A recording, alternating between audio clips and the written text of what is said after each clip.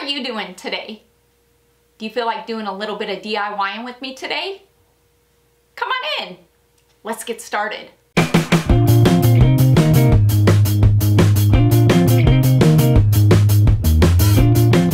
What have I got going on for you for today? Yeah, you saw that thumbnail correctly. I am DIYing with real fruit today. Not plastic fruit, real fruit.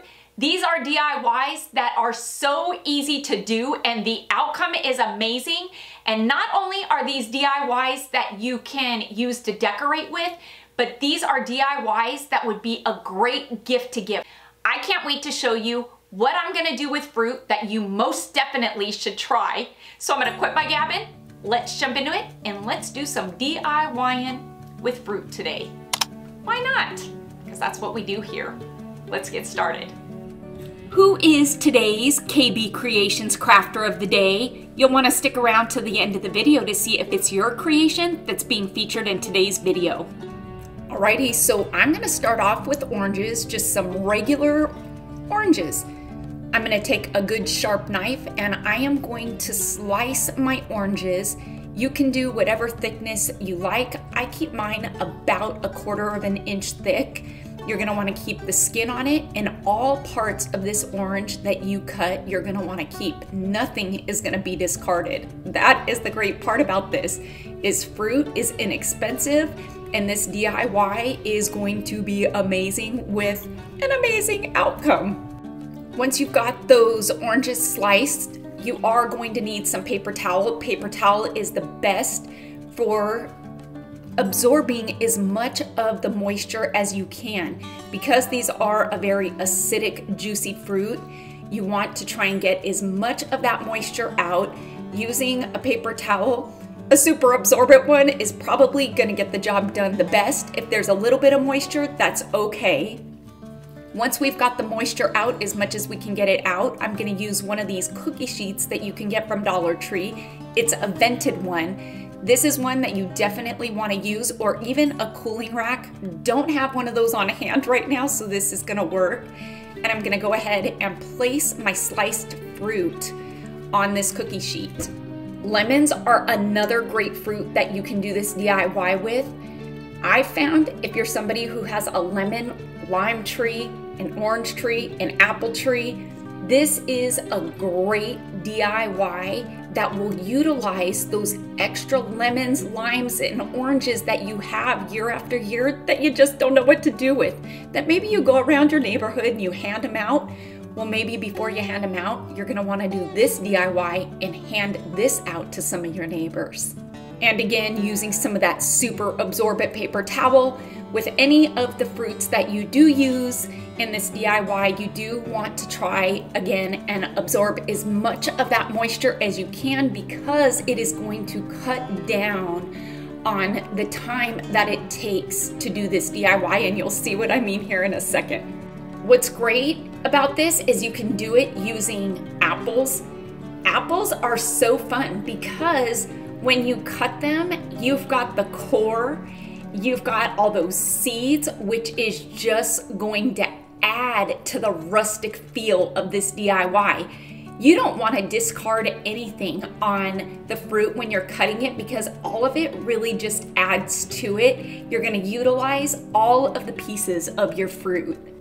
Different colored apples are going to give you a different look and a different outcome. And believe it or not, you're gonna get different scents because they taste differently.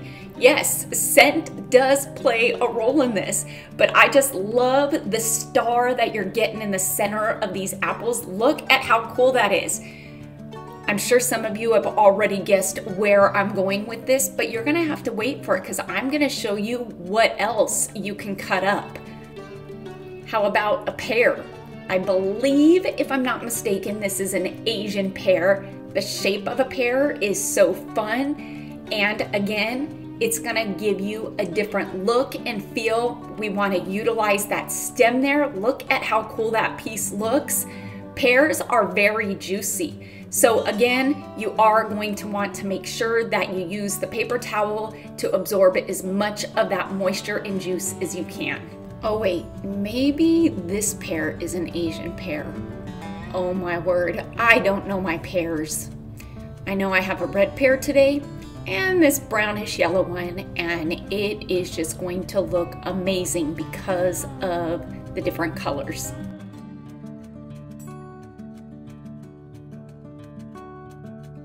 Your oven is needed. I set my oven to 190 degrees. I'm gonna take all the fruit that I have cut up, those lemons, the apples, the pears, the oranges, and I'm going to place them on the rack here. And again, this is at 190 degrees. I'm gonna close this up, let it set for about six to eight hours. It's been a bit. I wanted to check on them, and as you can see, the fruit is starting to dry out and actually dehydrate. And so I probably shouldn't have opened it, but I figured I wanted to see the progress and I wanted to flip it and you can see that flipping it is definitely the way to go so you get that even colored uh, I guess look as it's drying out. The top is clearly drying out faster than the bottom so yeah I suggest flipping it and if you've got a cooling rack, you probably won't need to do that because it's gonna get it from all sides. After about, I wanna say six to eight hours, and you just wanna keep an eye on it, you're gonna see that it is dry. Some of my lemons got a bit darker because they were on the bottom rack. That's okay though, you can see the middle ones turned out perfect. So maybe don't use the bottom rack. This is the first time that I've actually used all three racks at one time, but look at how gorgeous these pears turned out. Who knew it was so easy, right? Just for about six hours. I did grapefruits too. I didn't show cutting it. The brown actually wipes off with a sponge if you want it to, but look at how gorgeous they are. As I was drying these out in the oven, my house smelled so citrusy, fresh. It was amazing. This dried fruit smells amazing too. I did limes and you can see the rind on it is just gorgeous and it still has that green, but it's got the brown. These are the lemons. And so yeah, I say get creative with your fruit and try drawing whatever you want out. Guess what? You can do whole oranges too. And this has an amazing outcome when drying them out. And how you do this is just by cutting slits in eight points of whatever fruit it is, citrus fruit that you're drying out. So you're gonna start off by cutting slits in four points the top, the bottom, and the sides. Then if you kind of rotate it and do slits in between those four points, you're gonna get the eight slits needed to dry this out. You don't wanna cut all the way through the orange. You wanna cut just enough that you're going all the way through the rind and the pulp.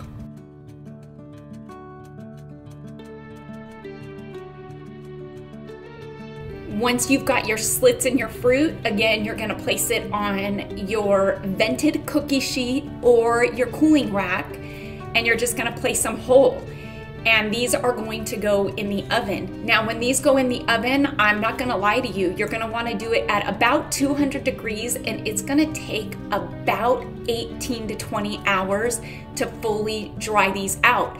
You can use a dehydrator if you have one. I'm not gonna spend the money on one when I can do it in my oven.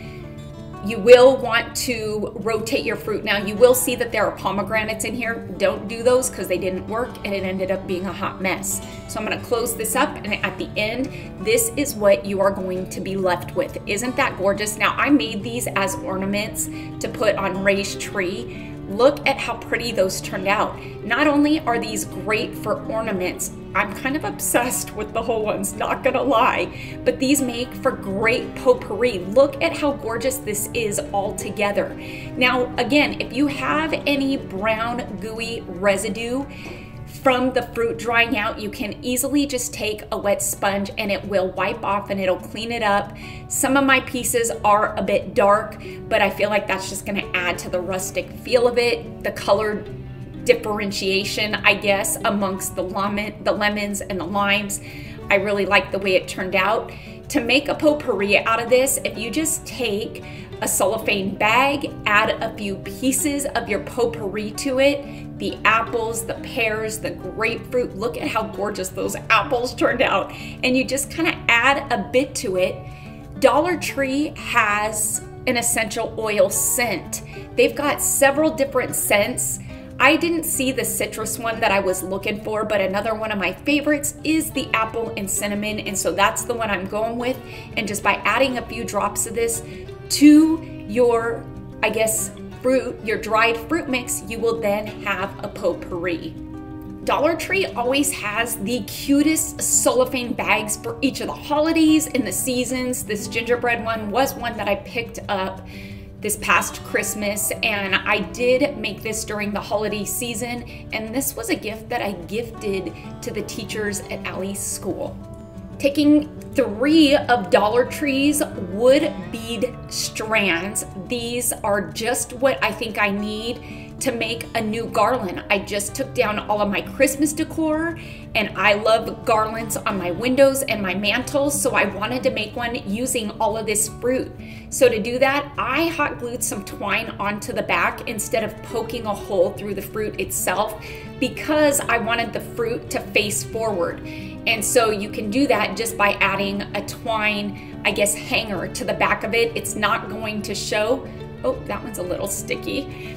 I went ahead and used some regular twine just because this is going to have a bit of weight behind it.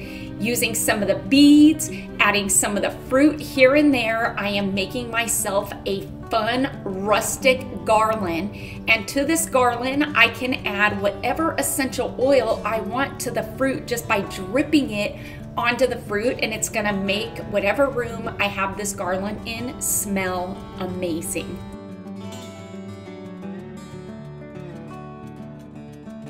Now, I know, I know I'm a day late and a penny short, or a couple months short, but this was another idea for adding ornaments to the tree just by adding a bit of twine to the back of this. What a budget friendly alternative to the traditional ornaments that you buy at the store.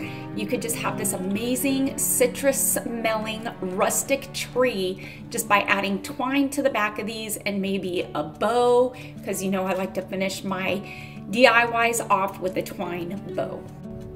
Who is today's KB Creations Crafter of the Day? Well, it's going out to Janine, who's bringing to us her recreation of my DIY extracts.